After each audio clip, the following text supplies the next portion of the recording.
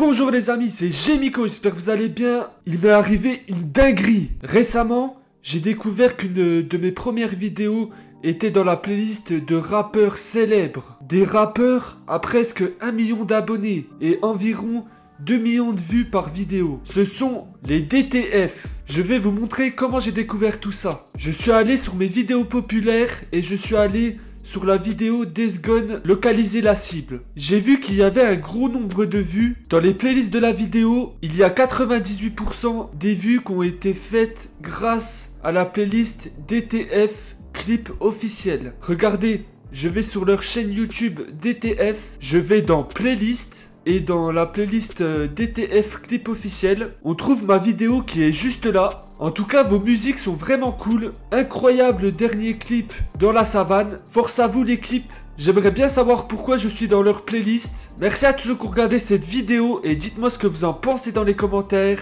Allez, bye les amis